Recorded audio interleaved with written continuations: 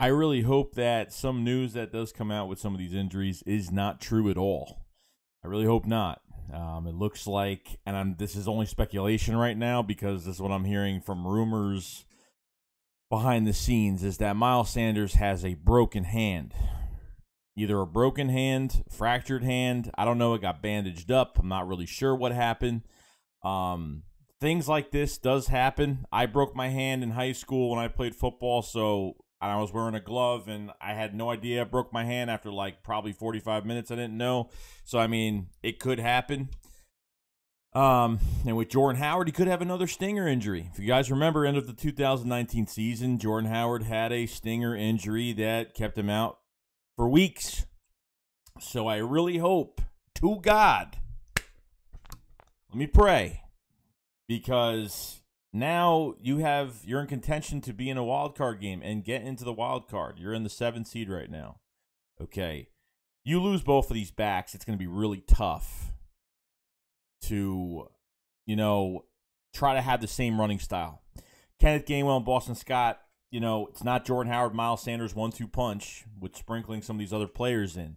You kind of have to change your whole game plan. I'm not saying they don't run the ball at all, but with Boston Scott, you, know, you, don't have Jordan Howard, you lose your bruiser back. You don't have Miles Sanders, you don't you lose your shifty back. But at the same time, Boston Scott, you know, he could, could catch out of the backfield. He can go out for passes. He could, um, you know, you could. He gets to the if you have good blocking for him, he gets to the second level. He can get some good speed. But it's not the same though. With you have Jordan Howard and Miles Sanders leading the charge. Okay, uh, Jason Huntley still on the roster. You don't really have any bruiser backs left if Jordan Howard is out. I said to myself, if one of these guys is out one of them is coming back, I'd be totally fine.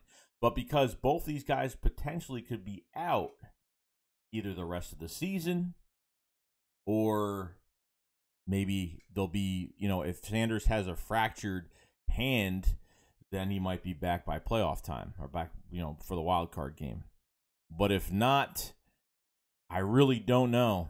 I don't know. Losing both of these guys will be a huge loss um, and I couldn't believe it because I noticed that Jordan Howard's shoulder, he was kind of, you know, moving his shoulder and he couldn't really, you know, it was acting up on him. So um, he had that sting injury a couple years ago and, you know, we really didn't play him at all. It took, I don't know how long it takes for a stinger injury. I know it's, it's something to do with the neck, you know, neck area to your shoulder, which isn't good.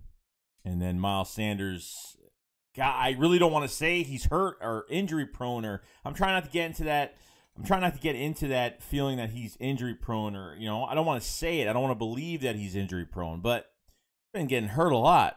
You know what I mean? He's been getting hurt a lot of times. And I'm trying to say he's not injury prone, but it's getting to that point where he's out way too many times, already twice this year. So, like I said, this is just speculation. Don't go crazy about it. But by today, tomorrow, whenever you're watching this, might hear some bad news. Not sure. We'll see. And that's pretty much it. So, guys, have a fantastic day. I'll see you guys later.